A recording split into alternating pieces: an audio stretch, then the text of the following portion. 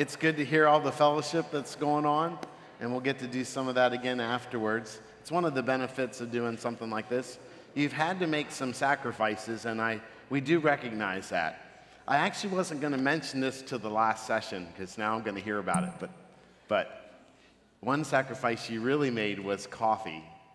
And you'll be interested to know that coffee drinking was invented in Turkey. They're the ones that, that they came up with turkey, or for coffee. Turkey's the one that invented coffee drinking. And tea drinking is huge. They have tea for every meal, hot tea, in these little glasses. And I really enjoyed that. So that was cool. So, so thanks for making sacrifices to be here all together. But hopefully you've been learning and, and being challenged by our study in the seven churches of Revelation. We want to welcome the high school class today. Thanks for being flexible as Pastor Darrell isn't feeling so well today. So uh, thank you for making that change. And uh, well, let's just uh, jump in here, but we'll start with the word of prayer. Dear Lord, thank you so much for this opportunity to gather to study your word in a portion of scripture that really fits in a certain context there in Asia Minor and Turkey, in the modern country of Turkey. And we we need to understand that background in order to understand what's happening in the scripture so that we can be properly challenged by it. Thank you for your word and for how you worked in people's lives through the ages, throughout history, and we can learn from them. Today, there's kind of this view that people in the past uh, aren't to be respected or they really didn't know what they it doesn't really matter what they thought because it's just old but yet if we do the same mistakes that they made, that isn't really uh, smart on our part. We should learn from the past. We should learn from, from the mistakes that people made. And we know that you're the one who can fix our problems, and you're the focus of this book. It is the revelation of Jesus. And so thank you for the way you're working in our lives. In Christ's name we pray. Amen. Well, we've been, we've been going through the book of uh, Revelation in chapters 2, and, and then we'll be doing chapter 3 as well when we hit Sardis next week. But we've been breaking the seal as we go. Remember, it's in a scroll, and there's seals that, that each church had to break in order to read their portion of the scroll. And so we uh, continue to go through those churches. Ephesus was the first church, the chief church, the top church of the seven, and uh, they were the church that. Uh, um, all the mail came into Ephesus and then it was dispersed on the road. So the mail went from Paul just used the mail route as he talked to the, or not say Paul, I keep doing that once in a while. It's John, the Apostle John, that wrote to the seven churches. But Ephesus is where the mail comes in. Then it went to Smyrna, then Pergamum, as we studied last week, and now today, Thyatira.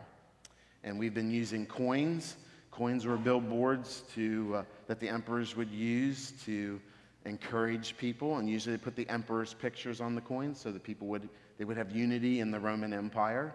Well, we've changed these coins, and we, we made a coin for each church to help us remember what's happening. The first one's Ephesus. Their, their, their problem was they lost their first love. They lost their priority. They didn't have passion for Jesus anymore. They were working really hard as a church, but they had lost their passion for Jesus. So that's their coin, priority number one. And then Smyrna was weighed down with several fears the fears of persecution and uh, just the, the, fear of just the environment that they were in there. Uh, so Smyrna needed to learn how to trust Jesus in the midst of our fears. And we don't have anxiety, do we, in, in our culture today and in our struggles today? We don't deal with fear, do we? No, we need Jesus to help us calm our fears. And then Pergamum was just exhausted because of all the cults, all the worship around them that was coming in onto the church. And so uh, it would have been easy to give in and just not fight anymore. And they were exhausted, they were tired uh, of these false re- religious beliefs, all the uh, false gods of the Romans, as well as the emperor worship. As we see in each of these cities, they struggled with the emperor worship and how they needed to put a pinch of incense in the altar every year and then say Caesar is Lord as they went by the, the in the temple. Domitian, Emperor Domitian, was not a good guy. And so uh, that was the environment that they lived in. So could Christians compromise? Could Christians actually do that? Or do you do that but say under your breath, Jesus is Lord? Or do you not do it and you resist and then you probably would be persecuted or killed for your faith. So these are the environments that the, the Christians were living under.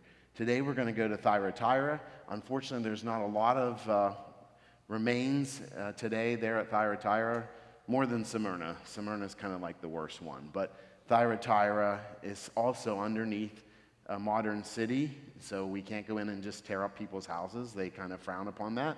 So, but we do have some of the, the remains, and I have some other pictures to show you as well of the area there today. But Thyatira's coin is, a, is an arm with a muscle, and that is the guilds, uh, the, the unions were strong. This is a blue collar town. Thyatira was hardworking, and so they had all of these unions of different things, and we're going to talk about that here uh, today. Um, basically, let, us just now, we'll be working through some of our pictures here, but as I do that, I want to just share this. The city of Thyatira was founded by one of Alexander the Great's successors. Remember, Alexander the Great had conquered the known world at one point by a young age, and whenever that, when he was done conquering, he was depressed. He, he resorted to alcohol, and basically, we think he may have died from alcoholism or something else. There's different theories on how he died, but basically, once you conquer the known world, there's nothing else to do. So it's unfortunate that, that you know this man got to that place. But then there was he was so young, and his son wasn't old enough to take over. So then there's the four generals that take over, and one of those generals, Seleucus, is the one who's in takes over this area of the Roman Empire. And so Thyatira was founded by Seleucus or Seleucus. The city is on a low plateau surrounded by gently sloping, a sloping valley. Um, so, kind of a plain, a farming plain. Uh, this whole, a lot of these uh, towns are in farming areas. So, when you're driving along, you just see beautiful country. And, uh, you know, kind of think of the cove. It's a little different. They, they don't have the corn as much as we do, but they, you know, we have uh, wheat fields and just different crops that they grow there. And of course, we were there in the wintertime, so I'm not sure all of what crops they, they grow there, as the fields were, you know, the crops weren't on the fields at that point. But just kind of have that picture in your mind. It was a border or a garrison town that protected Pergamum. So, Pergamum last week was this amazing city on top of this mountain, and it was kind of the capital of the region. And Thyatira is this blue collar town. And whenever other people tried to attack, and to go to war with them, they would come through Thyatira on the road first before they come to Pergamum. So they realized we will have our garrison, we'll have our military guys at Thyatira so they can fight there before they come to Pergamum. So Thyatira was exposed, and, and, and because of this circumstance with the military guys that could be there, they could march to Pergamum within about a day or so. Uh, so that's the situation of this city.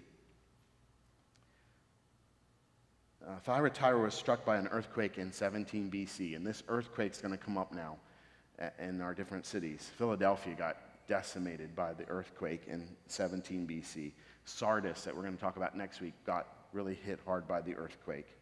Uh, was one of the most massive earthquakes in, in ancient times, from what we understand.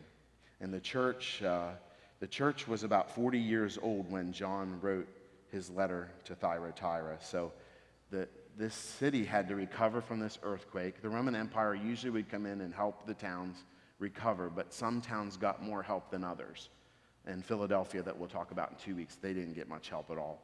So they were really in a bad situation. There were ruins from the, from the third to fourth century. There's ruins of a church.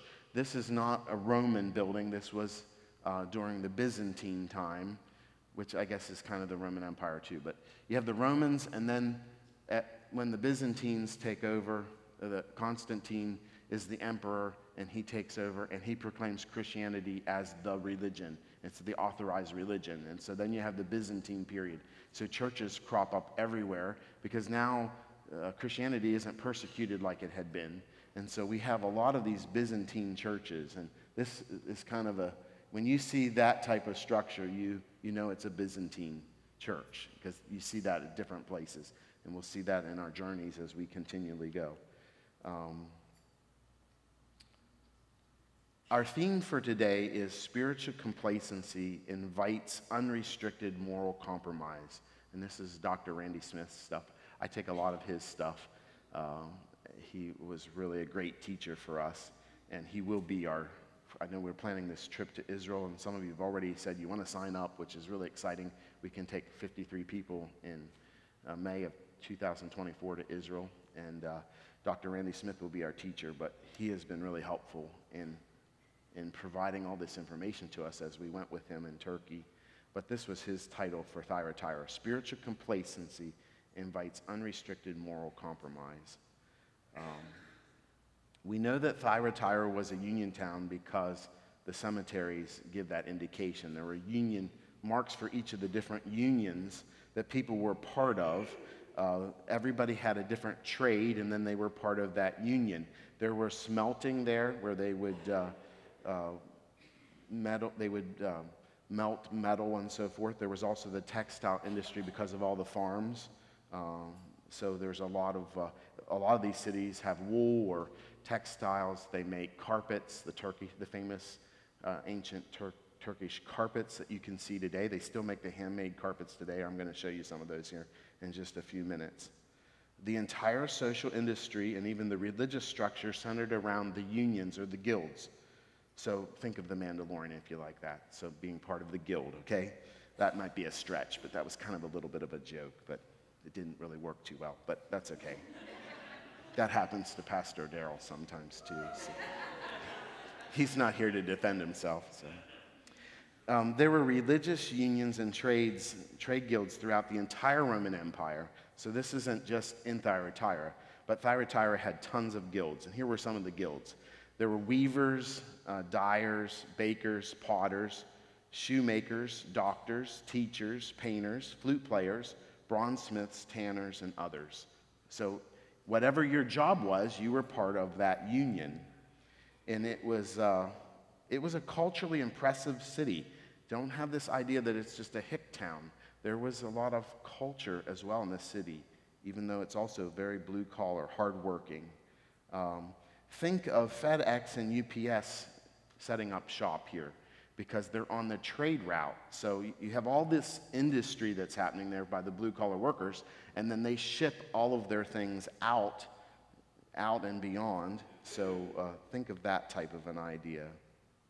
So this is a wealthy town because of all of what they, they do.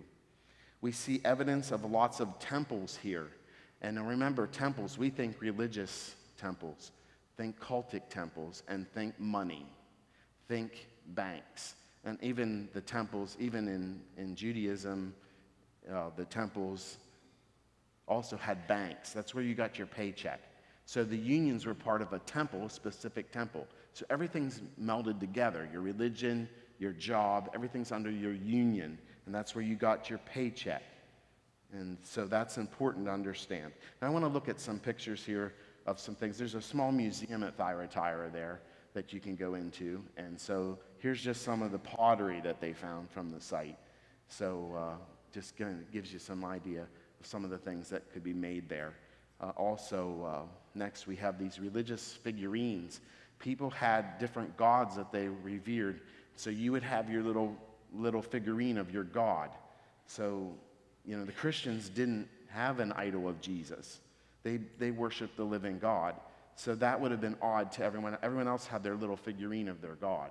So when Christians would be against that, that would be socially taboo for Christians to do that. They were called atheists because they didn't have their little gods, their little figurines. And then you see some lamps from ancient times that they found there, as well as some pottery, uh, some pictures of pottery as well. So here's, my, here's the point of all that cultural background. If you declared yourself a Christian in this town, you would have to defy your union or your guild that you were a part of. Because in order to do everything that the guild wanted you to do would mean that you would have to compromise your faith. That means that Thyatira was probably one of the smallest of the seven churches of people. Remember, the churches were the people. And Philadelphia is probably the smallest, but both, both Thyatira and Philadelphia were small churches. Christians faced economic difficulties and social isolation for not being part of the guild. So if you came to Christ, you had to leave your guild because you have to understand the guilds were involved with pagan worship. They also were involved with sexual immorality that occurred in your guild, in your parties that you had when you, you, you, you all of the people in your work got together and had parties, and they were pagan. So if you were a Christian, you can't go to that. Well, if you don't go to that, people are going to, why didn't you come to the party? You're part of the guild. And the guild was seen as something that unified everybody. So if you were against the guild, then you were really against the Roman Empire and you weren't, you weren't a good citizen. And your whole family was frowned upon because of this. So can you imagine living in t- that type of environment? It would be really, really difficult. Christians uh, just really faced a lot of problems, and one of those problems was the god of Apollo. And sometimes they would mix their gods. They would take the Greek gods, and then they became the Roman gods, and then they had gods from other things, and they would they did syncretism where they put gods together. But the main one of the main gods was Apollo. Christians uh, would have been really repulsed by the sun god Apollo. Uh, it's interesting that, by the way, you, we know the word Apollo because of NASA and the Apollo missions when they went to the moon. The reason the word Apollo was used, and, uh, and he's the moon, he's the sun god, not the moon god. Artemis is the moon god, so they're going to name the next mission Artemis, as I mentioned a couple weeks ago. But why did they use Apollo? Well, the director of NASA at the time in 1960 was reading Greek mythology, and so he thought it was really cool that Apollo was in the sky and he was blazing in like this chariot in the sky.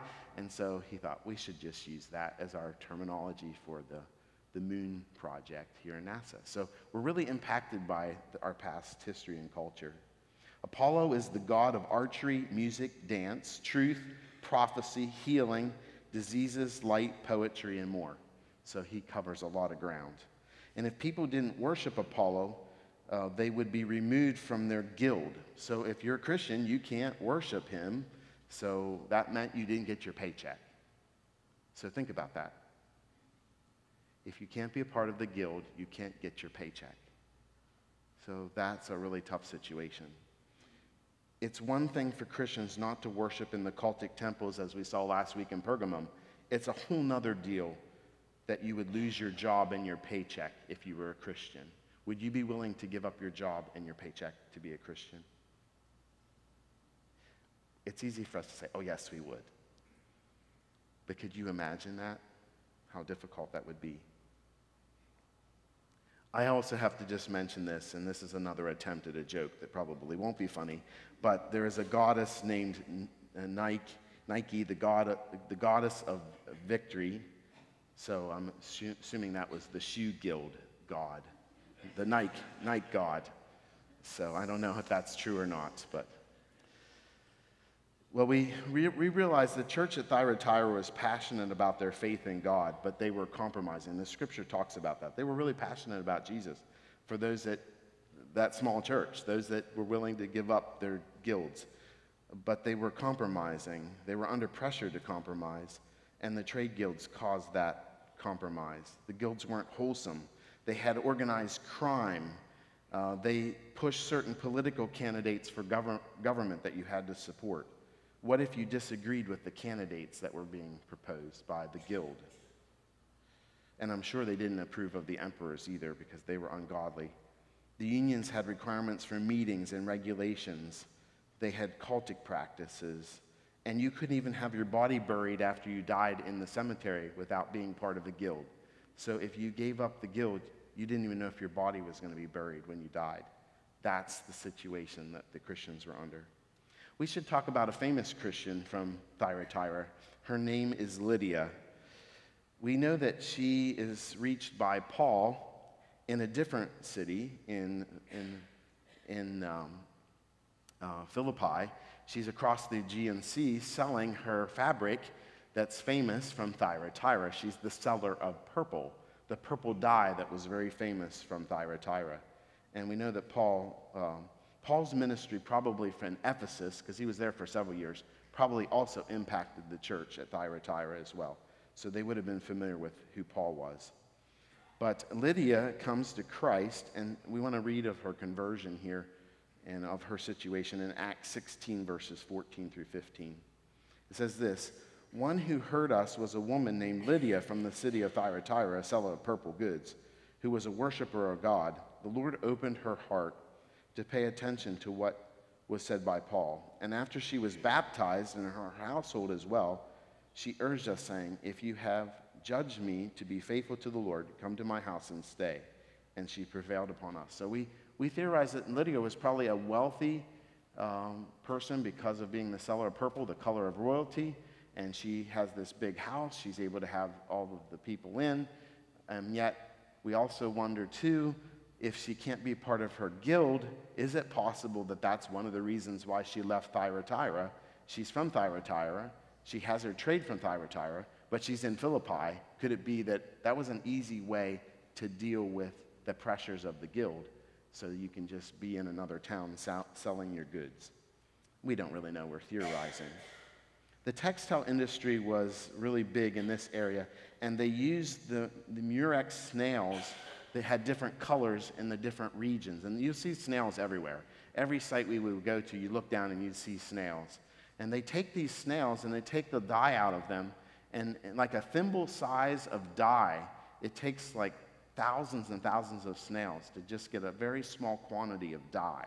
And there's different colors of purples, blues, and reds from these snails, and each of the different regions had different colors.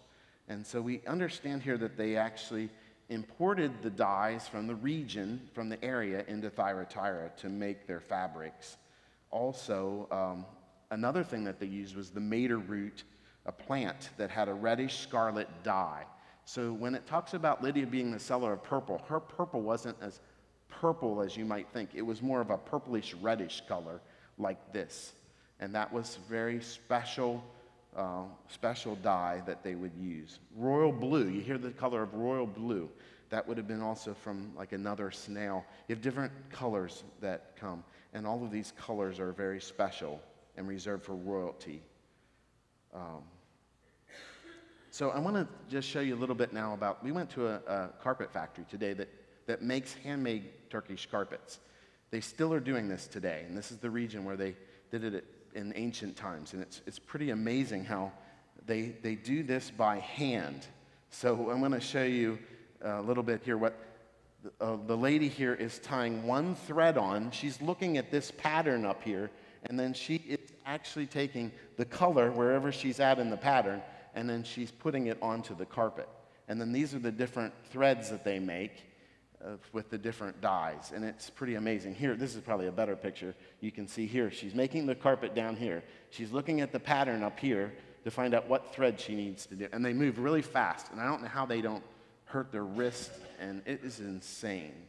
Um, and also, if you want to buy a carpet, because they take you there and then they, they want you to buy carpets, and you think, well, that would be kind of nice. And then when you find out they're thousands of dollars, you're like, I don't think that's that nice anymore. Like, I, I think that's nice for you to have that, and I th- think I'm buying a $5,000 carpet to have sent home. I'm not sure that I could, could afford that. So, but can we take it back to the other picture here? This is the, the, the, the, the bug or the worm. I'm not sure exactly what it is, but it's a silk, the silkworm that would, would make a cocoon, and they have to harvest these cocoons.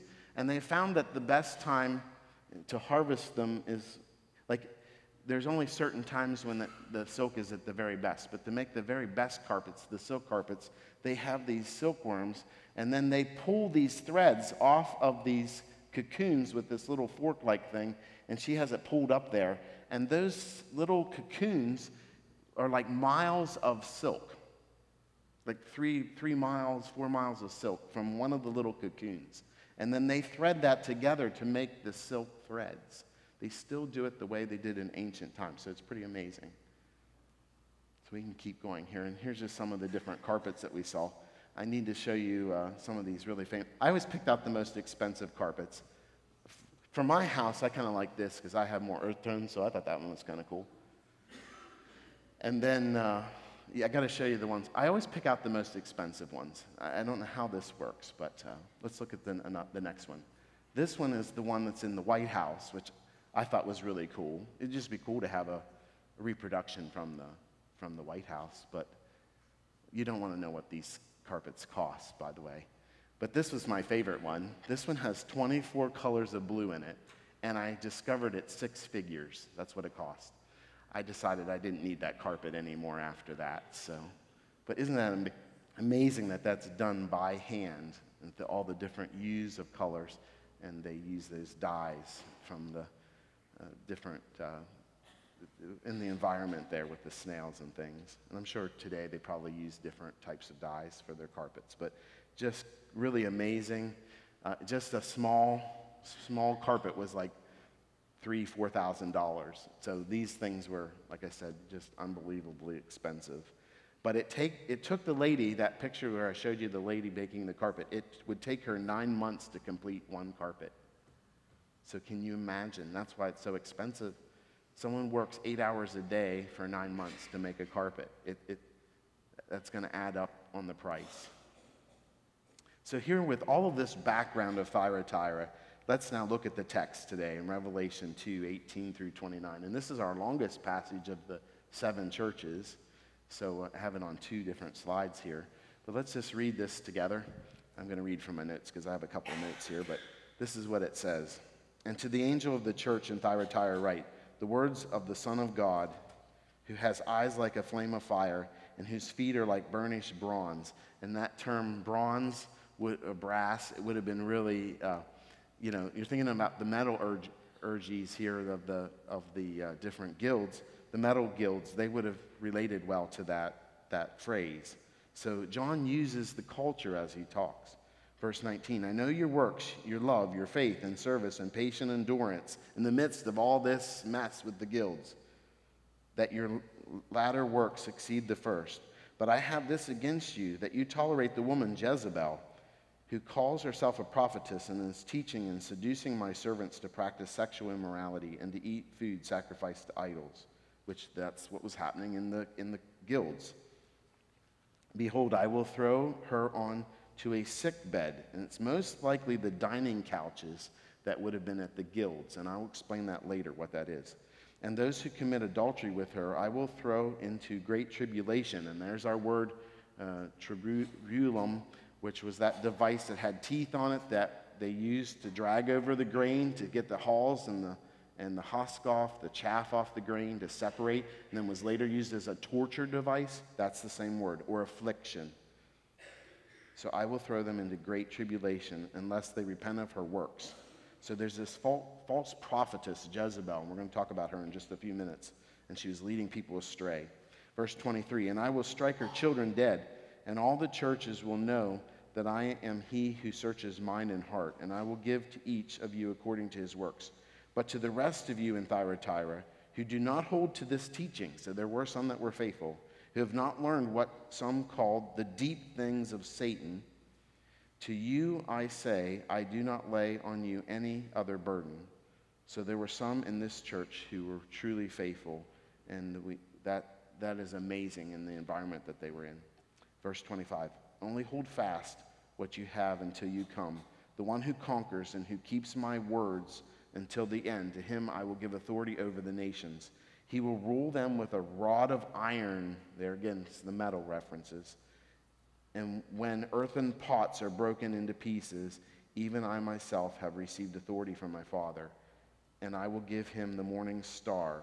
He who has an ear, let him hear what the Spirit says to the churches. So, as we see here, the church had allowed the world to impact them greatly, and Jesus is condemning of them for doing that. And yet, wow, what a difficult situation but he does give them some positive comments. So these are the positive conclusions that Jesus made.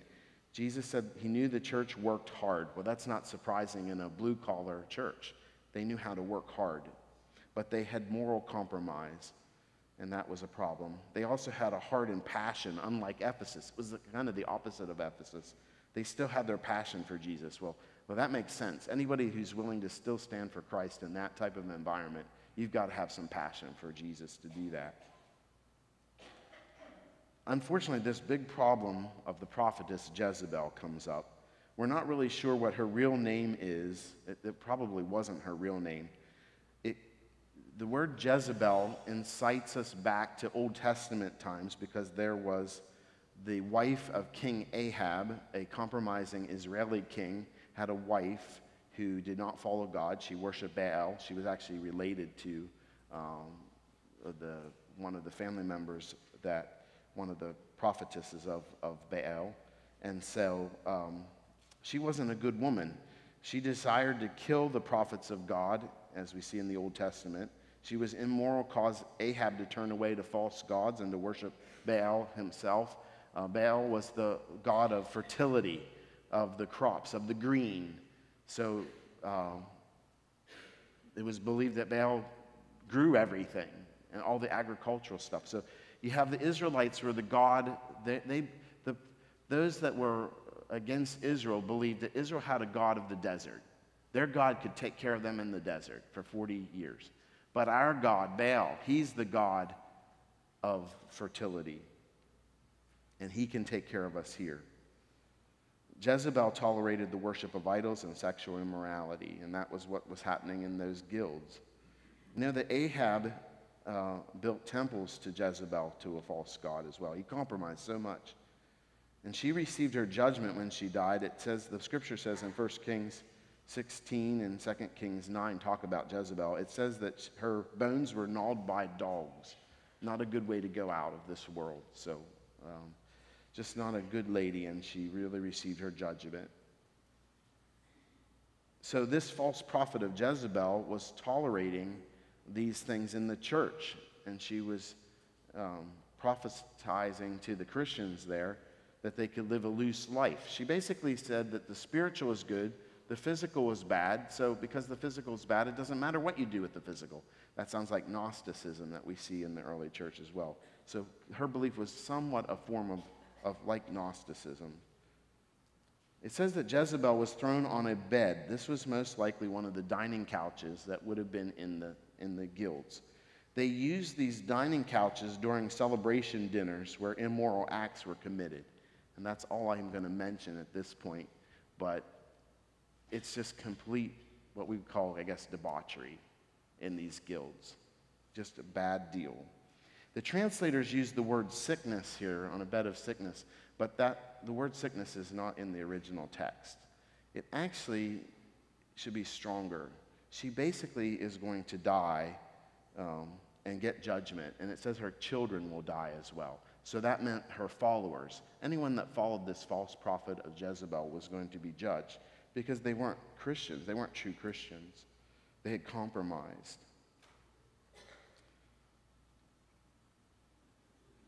The sin of Jezebel was either sensuality or compromising their distinctiveness as a believer. I would say it was both.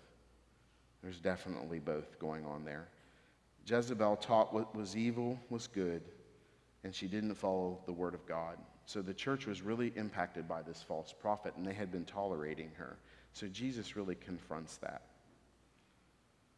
But still, Jesus is in churches even when there's compromise. He still finds those who are faithful, and he still works with those who are faithful. And we know there were several that were still faithful. And Jesus is mentioned here as being the Son of God. It's the only title, the only time the title Son of God is mentioned in Revelation. So that's really special here. And then Jesus sees uh, with these laser eyes, this idea of, of his fire eyes. He's able to discern the hearts. Hebrews 4:13 says, "And no creature is hidden from his sight, but all are naked and exposed to the eyes of him to whom we must give account." So Jesus sees. He sees when you're faithful in the midst of a pagan culture. He knows that you're faithful. He knows if you're not faithful. He sees.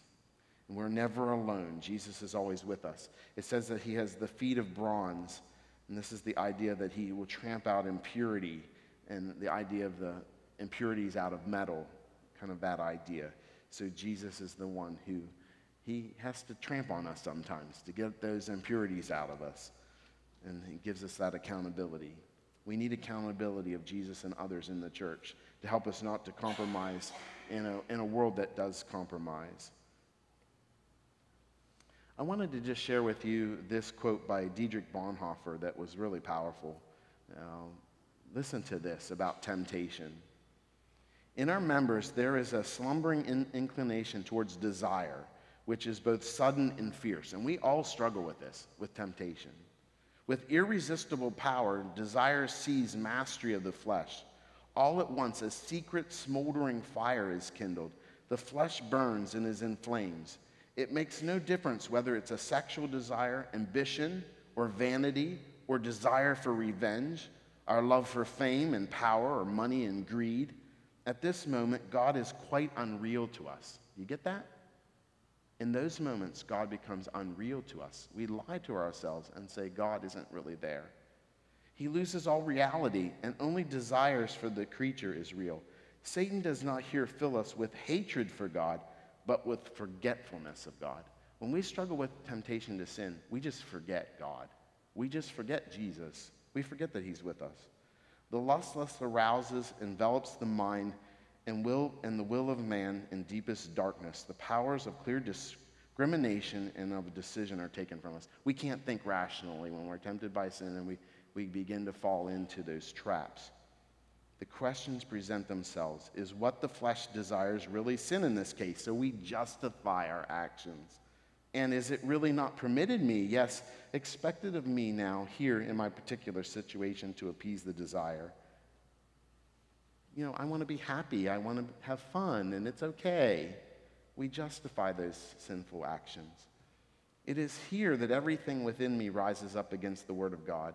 Therefore, the Bible teaches us in times of temptation in the flesh, there's one command flee, flee fornication, flee adultery, flee youthful lust, flee the lust of the world. There is no resistance to Satan in lust other than flight. We need to run when we're tempted with sin. Every struggle against lust in one's own strength is doomed to failure. If we don't run when we're tempted, we're going to be doomed. Dr. Randy Smith puts it this way The Bible says we should resist the devil but we flee temptation. Don't try to fight temptation. We have to run from it. And we need other Christians to help us to run in those moments when we're weak. So, for those Christians in Thyatira, to flee temptation meant quite a sacrifice. They had to give up their incomes, their jobs, and their social status. Would you be willing to do that? Christians who were members of the guild at Thyatira wanted their cake and they wanted to eat it too. They wanted to compromise and still be a Christian, but you can't be a Christian and compromise. We can't compromise our morals, our sexuality, and our faith. And just another word that Randy Smith had pointed out that I thought was also really good. Love today means, we're being told today that Christians need to love everyone. We need to love everyone and tolerate everyone. And we need to respect everyone that has different opinions about things.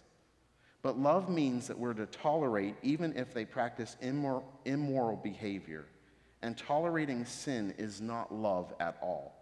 It is condoning their sin, which is hurting them, especially their eternal harm. We can't just tolerate. But before we start pointing fingers at other people, what are we dealing with? What sins are we dealing with that we are tolerating, that we need to deal with? We're called to be holy and pure in an unholy and pure world. We can't have Jesus and the world too. We have to, we have to make a choice. Do we want to fit into the world or do we want to stand out for Christ? We need to have a backbone. And that's the challenge of Thyatira. Here's the key for Christians in a pagan world with temptation all around us. This is where the rubber meets the road. It was one thing to talk about Thyatira and all their struggles, but uh oh, we have the same issues in modern America today, don't we? With all the temptations around us and struggles around us, the compromises around us. If we stay faithful to the truth of God's word and don't compromise morally, we don't have to worry about the world encroaching in on us. We're really worried about the world encroaching in on us. Instead of worrying about that, maybe we should be concerned about our own spirituality. Where are we at with Jesus? If we're committed to Jesus, we will start to make the impact out the other way. The world, the church can't compromise and become like the world. We still have authority over the world. Revelation 2:26 says that. Basically, that verse is saying Jesus wins. He's going to make everything that's wrong about this world right. He is going to restore it. Now, we want, to, we want it to happen now. We cannot understand why God would allow an 18 year old young man to go in and shoot innocent children in an elementary school. That makes absolutely no sense whatsoever. But Satan is working, and one of my explanations is Satan was definitely there working in that situation. But Jesus is going to restore this world. He's going to make it right again. But he is very patient. He's waiting for people to come to Christ. But how long, how many more messages are we going to need to see of all the negativity around us before we really get this message that Jesus will win and he will restore? We will prevail as Christians. We are given the rod of iron and dash pottery, it says. So here he's talking to the Union people with the iron and the pottery workers so they could relate to this. The promise is that Christians will eventually prevail in the future. We will not be under the dominion of earthly, sinful rulers anymore. This is taken also from a messianic promise from Psalm 2 7 through 9. This idea of the rod of iron dashing pottery. It's referring to Jesus and his millennial kingdom where he makes everything right again. That's what's going to happen. We win because of Jesus. Revelation 2:28 says, we are given the morning star. That's a reference to Jesus. Jesus is our hope. He is our God. He is our purpose for life. Revelation 22 16 also talks about the morning star.